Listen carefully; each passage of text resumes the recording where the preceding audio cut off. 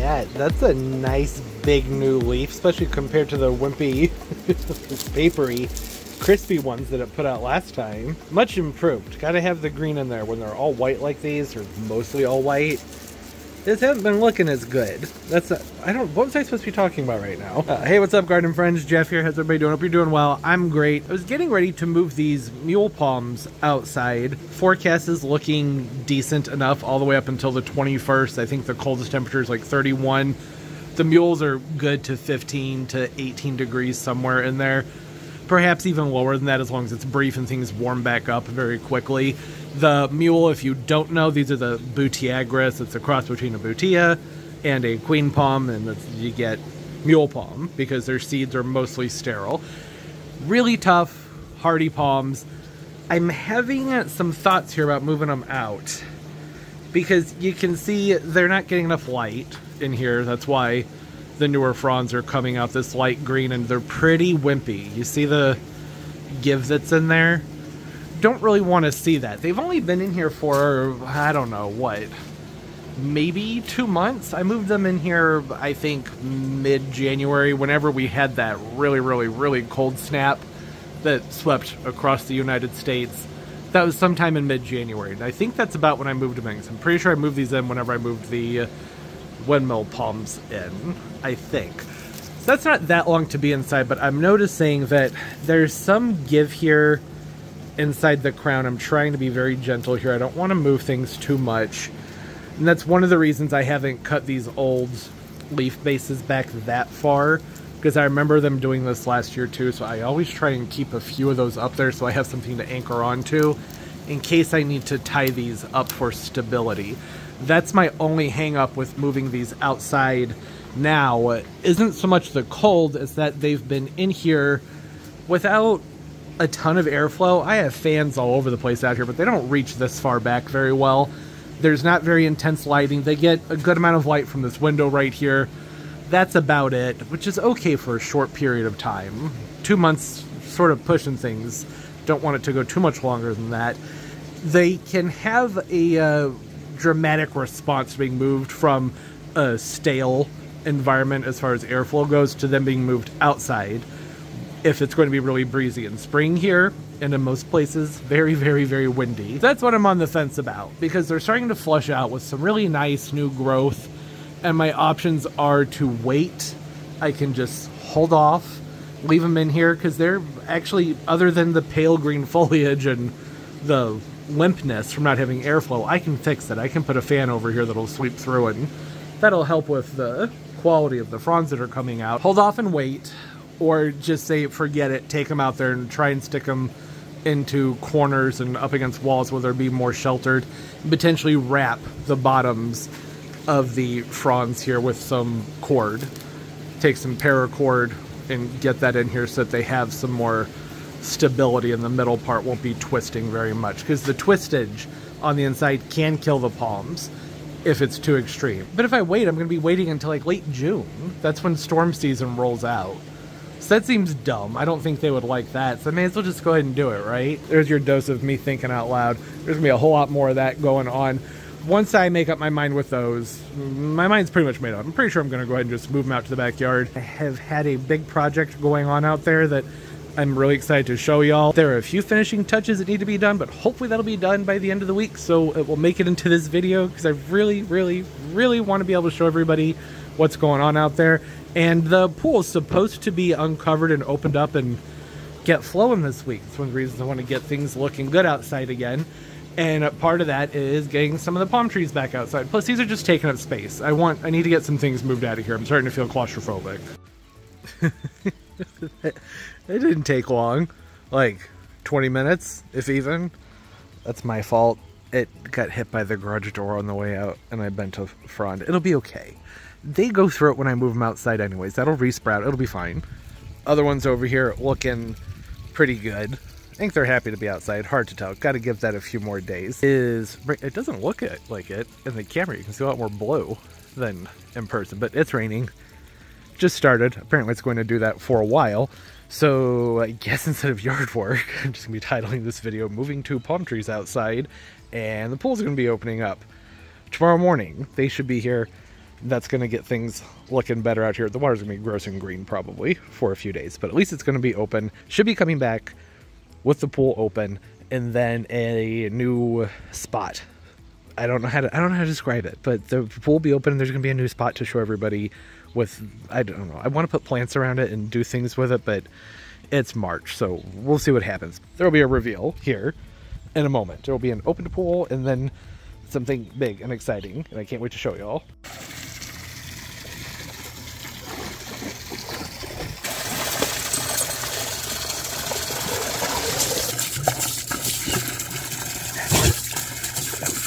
It didn't take him very long. I know I said the pool would be open in the next clip, but had some terrible storms last night and some pretty severe stuff supposed to go on throughout the rest of the day, so they said, we'll show up tomorrow, the day before this video comes out. So I'm imagining things are going to get chaotic here at some point. Had to pop the cover open though, because I forgot. I have to put water in the pool. The water has to be up to where the jets are and the skimmers on the sides, and this is prime opportunity for turbo. Fun down there. Okay. Oh, you actually like went all in. You went swimming, huh? Oh boy, yeah, you did your swimmies, huh? You had some swimmies done. He's happy. I, I could have just cut back and not showed you any of this, but the thing with the turbo under the cut, I mean, come on. Freaking cute. Go on, turbo. You're free. You can go play. Go swim. You're fine. burn off some energy. I'm fine with that. Go on. Go on. Go swim. Having the time of his life right now. Hey, Pumpkin. What you doing, kitten? Behave yourself. Yeah, give Pumpkin some space. All right, she's being good. Jumping all over Pumpkin lately. Can you hear it? Probably not. Listen, listen. Oh, I'm doing that. We're gonna go out there. Oh, so nice. Feels so good to be back outside and to be able to hear the water again. It was only shut down for two months. So that's not really that, but not two months. Hold on, math. December to January, January, February, February, March. Three months. And got shut down December 17th, something like that. A very short winter as far as that's concerned. A lot of winters, these things are shut down early November, late October. A lot of people around here close their pools in like September. I don't understand those people. I guess if you're really sensitive to cool water, then maybe, but the ground stays warm here for a long time. water stays warm. I have a heater, but I don't necessarily run it until like November. Besides the point, very short winter. Still a lot of damage. We'll talk about all that when there's a garden tour at the end of the month. But for now, just enjoy the water. Oh, it's so good. Still needs to go up quite a bit. I cannot believe how low it was when I popped the cover off of there. When I looked down there, that water, it was almost to the bottom. There were only a few inches of water in the in the shallow end, that is, which is not normal. Usually the water's like I'd say six inches below those skimmers, somewhere in that range. So, to be on leak watch. This liner got replaced very late last fall. I think it was November, maybe late October when it got replaced. So, there could be a leak somewhere. The reason it got replaced was because one, it was old and leaky, and the lights were busted. And to get to the lights, had to do a whole bunch of stuff, take them out, and it had faded and it turned white. So, it just made sense to switch it out. And uh, when doing all that, found the leak which was inside of these light casings that are underground. So I don't know. Just have to wait. That's something where you have to go in with the dye. It'll probably be a week, maybe a week until I get in there. I doubt I'll be able to wait that long, but I'm gonna try my best. You're being real good. He's just been circling this thing, slowly pacing the outside perimeter. Every now and then glancing at me to see if I see him, and I'm watching him, watching very closely. There's chemicals in there. They first open it, some shot goes in the water Otherwise, the pool's salt water and the whole chlorine process happens inside of a machine connected to the filters. There's like chlorine and there's free chlorine. It's a whole science thing that I don't understand. I'm not going to try and explain it, but when it gets opened up, shot goes in there. Just that's the one time, so he's got to stay out of there. I can't wait to get the gingers planted up over here and have some more color around everything. The hydrangeas to flush back out. I actually, I already ordered the gingers. Usually I just go to a whole bunch of nurseries and hope that I can find them I can almost always find them. A lot of the nurseries get them in from a specific grower, and that specific grower, a three gallon Alpinia, is like 80 to 100 bucks, which is just absolutely outrageous. So uh, instead of spending a lot of time going from place to place to place, like, oh no, I hope I can find the gingers. I just I ordered a couple. They're like 40 bucks. I don't know what they'll show up looking like, but they're gonna go through some transition, being moved to this climate anyways. They don't look perfect that's fine. And I'm sure I'll end up getting more when I'm out of the nurseries if I see them. And if I don't, then I don't have to worry about it because I already have a couple to put by the dolphins. Thought about doing heliconias here this year, but they're even harder to find. and I have to wait such a long time to put them out. Those shell gingers can take a good amount of cold. I think that those stayed looking pretty good uh, until like I don't know January ish, December. They took a hard hit when we had some frost at one point last year. So that's something to think about. There will be more frost, but they're to be right next to the edge of the water. I can also keep them in the garage when they show up and wait to put them out here. I'm just glad that I don't have to spend a lot of time trying to find them this year, and it's going to be so nice. Maybe next week, depending on the forecast, I might go ahead and just say screw it and pot them up and throw frost blankets over them if we have some cold in April. Who knows? I can't wait to get in there. I'm so excited to be able to get out here and swim laps in the morning and just enjoy myself. Look at what a beautiful day it is. Actually cooled off quite a bit. It was 81 yesterday, and it's like 49, 46 right now.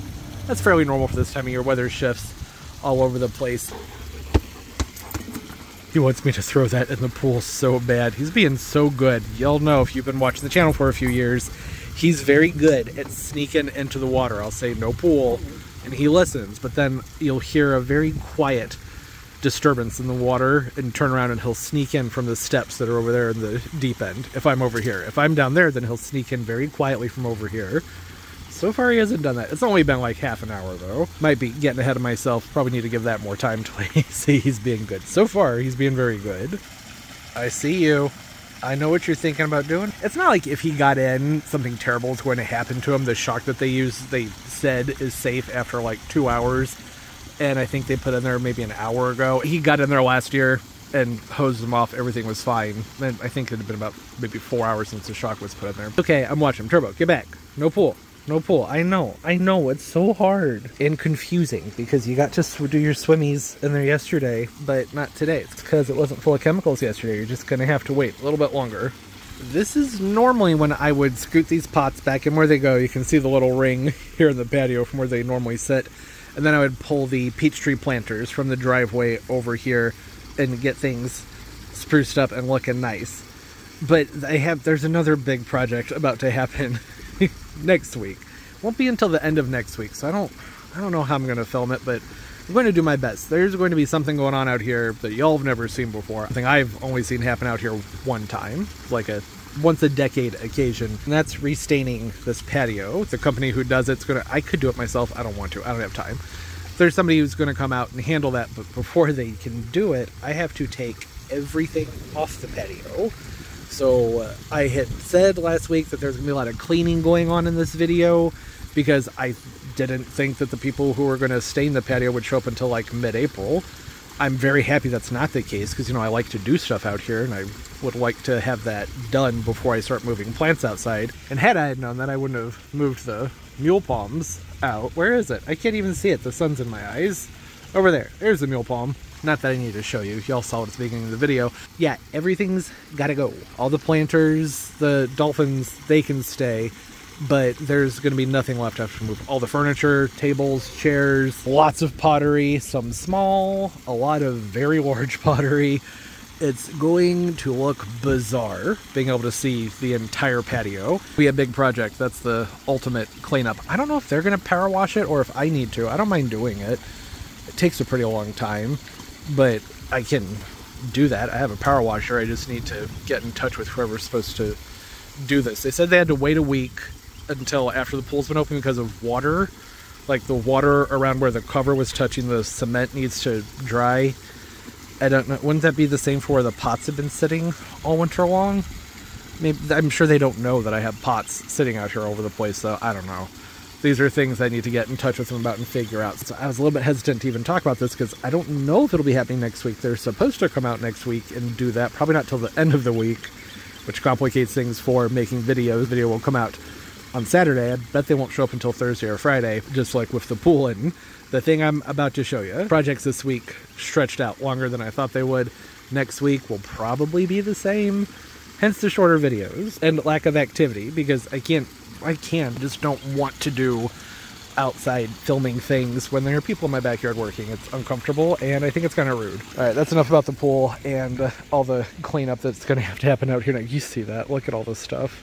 Actually, I don't think it will be that bad because a lot of it I can just scoot to the edge. It looks worse than it is. And that's another reason I'm so excited to get this done. Yes, the umbrella is broken. I'm not dealing with that right now. You want to see? See the big project? I mentioned a couple weeks ago that I was having the steps to the house built out, which I know doesn't sound all that exciting, but turns out there's a lot you can do with setting up some new steps. Aren't they beautiful? Doesn't this look so good? There's a very odd reverb to my voice when I was standing right there. That looked great. Did the piling with the rope. Kind of give me Red Lobster vibes, but I'm alright with that. Glass tile inlays on the front of the steps, and there's lighting going in on this overhang up here to light those up at nighttime. It's nice and wide, so Toby can get up and down these so much easier than he could before. It took him a little while to get used to it, but he's starting to get up and down without much hesitation. Last couple days he's flying up and down them without much hesitation, so that's good. The steps that were originally here, the top step was like this big, so really you had one step and you had to step up into the house, which wasn't really a big deal, but it's going to be difficult for older people, my parents, older dogs, Toby, and Turbo, you know, in several years, and toddlers, which gonna have one of those around this time next year. A lot of reasons that need to be built out. One, aesthetics. This just looks so much better. Two, safety. The other step wasn't really all that safe. So this is much better. The piling is a piece of cypress. It was, I think, an eight foot pole. And this is the height that me and the contractor, or the contractor and I decided to go with there were lots of different ideas being bounced around and this is what I had stuck in my head was just to keep it simple, put a piling here. There were some designs that were being thrown about that were more elegant, I guess you could say, but I think sometimes it's nice to just have fun. Piece of cypress piling, some rope around it. I think that that has a nice look to it. I like the way he cut around it and came out here and smoothed that corner. It just looks nice. The railing I'm a little bit uh, iffy about. I don't know if I really like the railing, but let's be for real here. That railing, not going to be all that noticeable by the time I have plants piled up around here. And that's what I'm looking forward to doing, is landscaping or patio scaping this spot. There'll be a big Roebelenii palm here mid to late May, sometime around there. Have these awesome Nautilus planters. Those will look good over there. There's just so much that can be done around here. I don't want it to look too cluttered. Y'all know it's probably going to end up looking pretty cluttered, but I don't want to put a ton of pottery on the steps themselves, but around the edges to frame it in because the dogs seem to be enjoying laying on them too. Pretty good reason to not pile things up too much. There'll be a huge Adonidia palm here, assuming the people who are storing the palm tree didn't kill it. If they didn't kill it, there will be a big Adonidia palm here. In the meantime, I was thinking about maybe moving the windmill palm over there. It'd be tricky. This thing's fairly heavy. I don't know if it's tall enough. If it's tall, I can stand underneath it. It probably has, I'd say, five feet of trunk maybe on it, but you know, the container lifts it up higher. Logistically, looking at this, where the crown is right here, that crown is over here, and you're standing on this top step, then isn't that, there's just gonna be like palm fronds smacking in the face, right? It's not the kind of palm where I feel like I can stick it at an angle and it'll look right. It's gonna be a lot of work getting that over there too, because there's a slope and angle to things. Uh, really, there's only one way to figure it out, and it's just to take it over there and see if it works. Doesn't work, I can pull it out. I make it sound so easy. I'm gonna be putting it into a hole. It won't be that easy to get it out, but may as well give it a try, right? There we go. Hey, Turbo, you're gonna have to move. Sorry, baby. I'm so sorry. There's a palm tree coming. You gotta get out of the way. I saw that. You think this is fun, don't you? You like when I move the plants around. He likes when I move the plants around because when he was a puppy, he had a lot of fun tearing up the wheels on this thing, which is why it now has solid rubber wheels that don't go over objects very well. That's not too bad. There we go. A little bit more. Come on. There we go. Okay. Now I just, and just, and just make, I don't, I don't know how I'm going to do this. I'm just going to figure it out. I'm going to come back and there'll be a palm tree over here. Looks good there, but that, see that? Look at that. It's going to be hitting me right in the face when I walk through this door. Yep. That's right at eye level. Can I just scoot it over here? Don't want to twist it too much. Talked about the twistage with the palm trees earlier in the video. I already played around with twisting and turning this thing in different ways and this is what looks the best. I would like for it to be turned a little bit like this, but then this frond is going to be right here when you walk out the door. This will just have to do. It's fine. This is temporary anyways. Oh, it looks so nice. The little palm tree back there behind the piling and the bricks. And I should put some seashells there. I already have them piled up over there. Have the Austin Pretty Limits oleander I got from Proven Winners a few years ago. It's just a tiny little thing when I got it. It's done a good amount of growing. These can be outside into the, I'd say, uh, upper teens. They should be fine without any damage to the foliage. They can go down to zero, but the foliage will die back. Yeah, I like that. kind of wild, giving me the beachy vibes.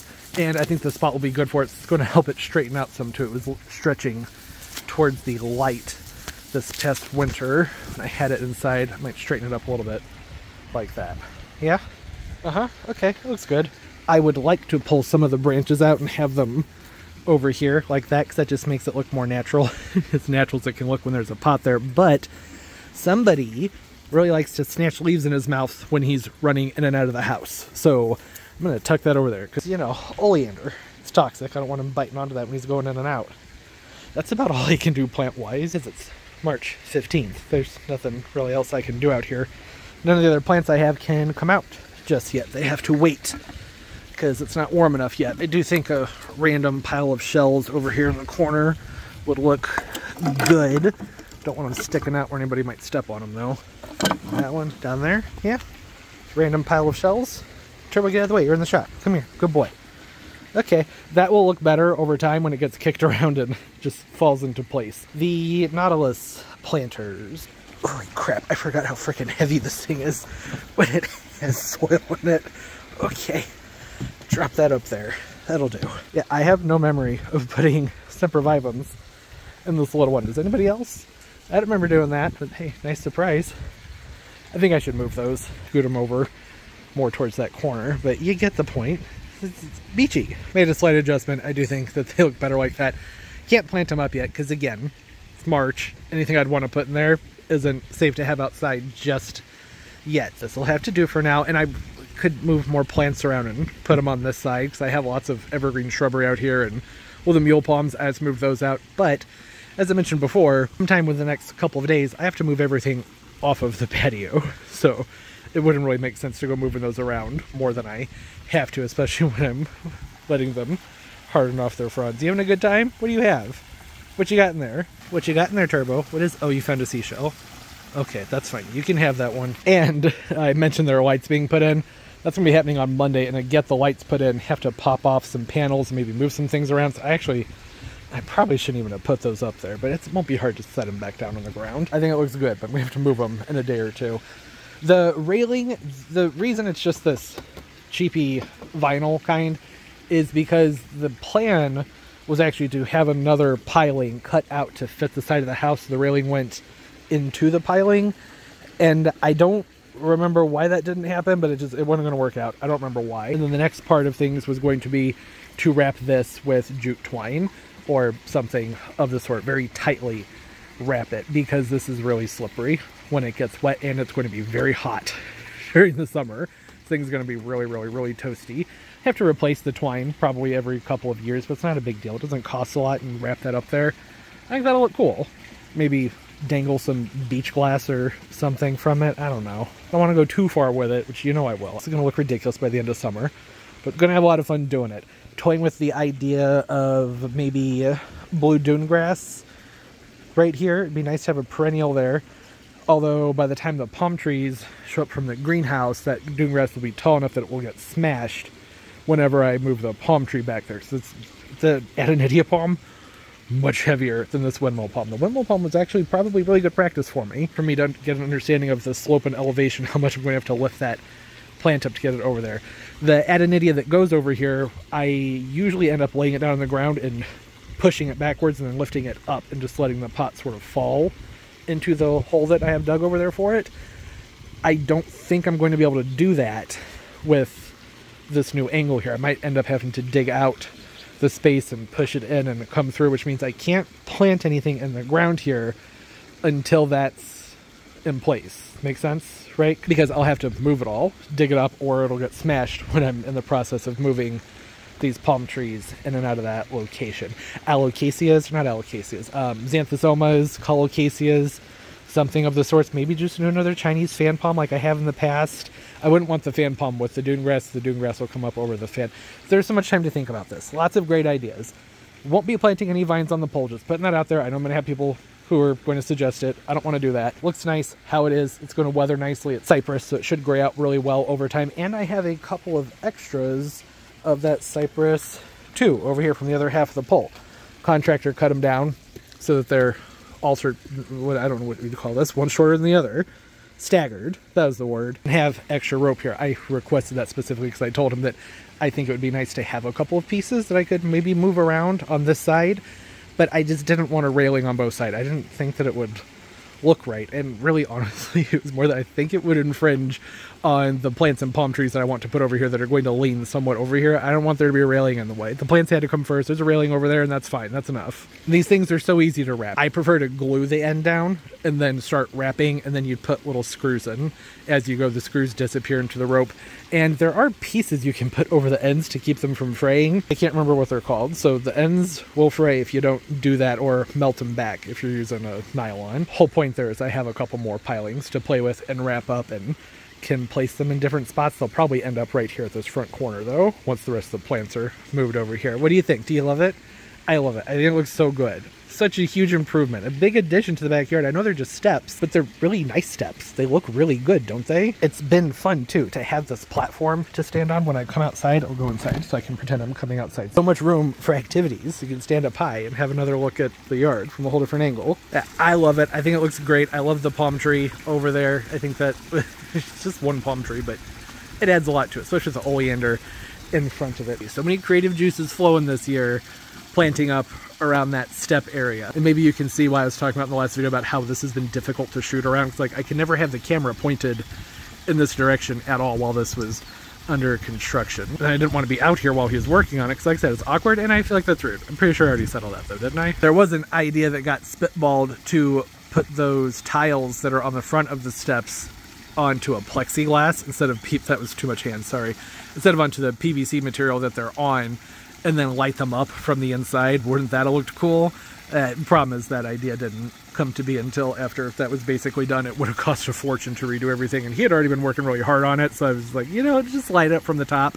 Have some lights that are going to go on the inside, and it'll look nice at nighttime. Yeah, I'm so happy with it. I love it. That's a pine cone, by the way. It's not dog poop. I think it's a huge, huge, huge addition. I guess it's not an addition to the house, but it feels like an addition. Is it an addition? I, don't. Is that an addition? I don't know what you'd call it. It's a big improvement. Looks great. Real beachy, giving me the beachy vibes, maybe a little kitschy. I'm okay with that. I like dripping in class out here as it is. Have some fun with it. Whole point of the backyard for me is to have my escape. I never want my yard to look like all the other places I see around town. And this is certainly giving me that vibe. All right, hope everybody's doing well. Thanks for hanging out. Lots of talking today, not a lot of action, but it was because, you know, like I said, the projects, when the people who are doing them can't get to them till the end of the week, that's just sort of the way things have to go. Might be the same thing next week. I don't know, but I am looking forward to getting everything up. Well, actually, I'm not. I'm dreading moving everything off this patio. It's going to be a lot of work. I'm looking forward to the physical aspect of it. There are definitely probably going to be some challenges that arise during the process, and I'll bring y'all along for it. Hopefully, it will actually get stained and everything done in one video. I don't know if that's going to happen though. That doesn't matter. People always love the cleanup videos. That's why I have a big pile of junk over there in the corner. I've just been piling my junk up so in the spring I can move it all and everybody can feel great about having a clean spot over there in the corner. I get it. It's satisfying. Like I said, thanks for hanging out. Hope everybody's doing well. Having a great day, great life, and everything's just going absolutely beautifully for you. Yeah, those storms last night, they were pretty horrible took off another frond. It's okay, go through that with those every single year. I think getting them into some fresh soil with a regimen with some Palm Gain will help sort all that out. I thought I saw buds on one of these, which would be surprising because the temperatures have been relatively cool in the evenings, but there have been a few days in the 80s too, upper 70s, low 80s. I don't know, who knows? It'll probably be a while till this thing blooms. Okay, as always, and most importantly, everybody, keep on growing. Bye bye.